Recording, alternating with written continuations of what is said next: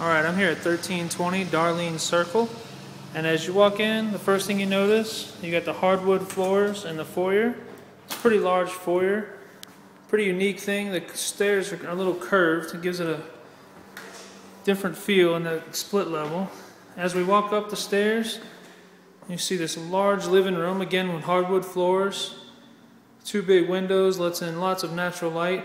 There's no fixture in this room, but you will see the crown molding all the way around. And one more thing, just another view of this curved stairs. It's a pretty unique feature, I think. Uh, as we walk through into the kitchen, you'll see the tile floors. At this little bar area that overlooks into the dining room. Looks like it is pulling away from the wall just a little bit here. Uh, one more view of the kitchen. You can kind of see the crown moldings falling down in that one little area. Cabinets, they look okay. Um, some of them are missing the doors, is right here you can see with the range. Dining room, hardwood floors, crown molding again. Get a better view. That's the living room back there. And on the other side of the dining room, we can see the family room. Hardwood floors, large window, goes all the way down to the floor, lets in lots of natural light, overlooks the large backyard. Another window over here. It is wood paneling in this room. You can see the beams here, two fans. Looks like they kind of didn't do a too good a job of painting here. Not a big deal. Two built-in closets, plenty of storage. French doors here lead out into the large back deck. As we go out onto this deck here, lots of space. You can see a good view of the roof right here.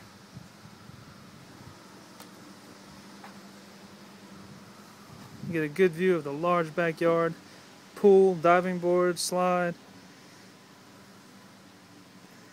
Let's go back inside.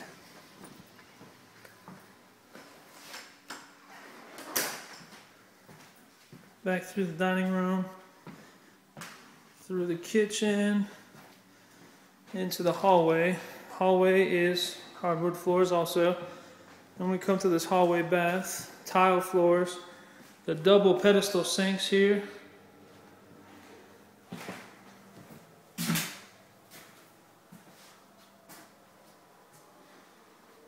Like it's in pretty good condition.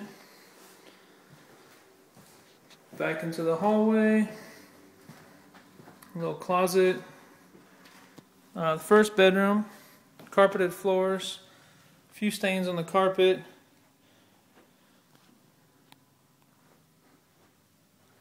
You can see the baseboard kind of needs some touch-up paint here.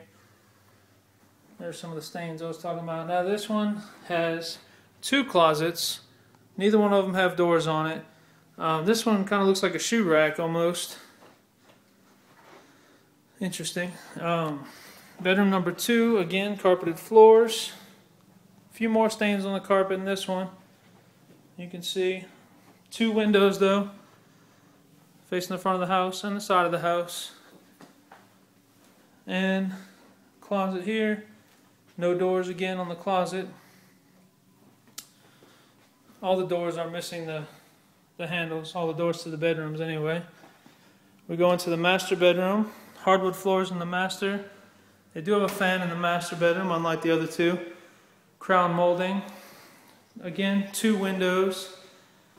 Now, the master bedroom is missing part of the door trim. There's a big hole in the wall right here. Looks like they had a TV mount. Um, a few areas that were patched up. Now it looks like they started to redo the master bathroom and didn't finish it. They do have the tile floors. There's no vanity. Closet right here for the master bedroom. No fixture. Um, shower. Looks like an all tile shower. No door on it. Um, it's not finished up here.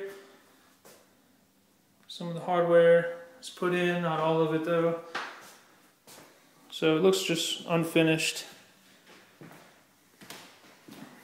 And we're gonna go back through, back into the hallway. Down these stairs. Into the basement. Now we get down the stairs, they got tile floors here.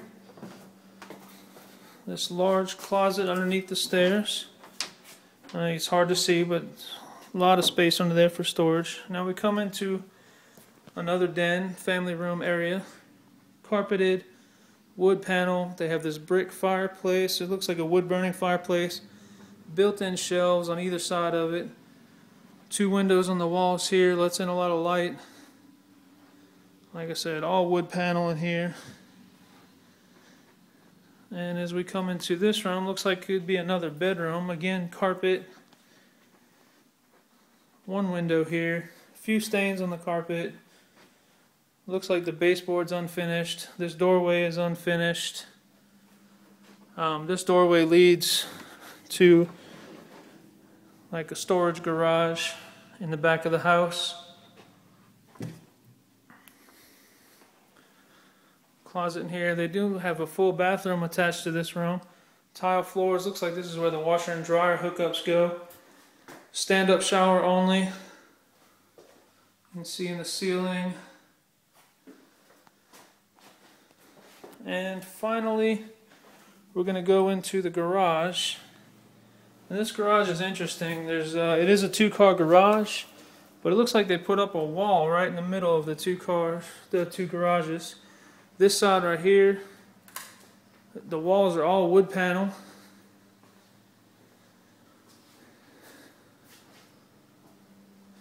They put up a door right here. The door kind of has some damage to it. And here's the other side. They left the concrete wall, the exposed studs on this side. Here's all your HVAC, water heater, and a door leading to the backyard. And there you have it. That's 1320 Darlene Circle.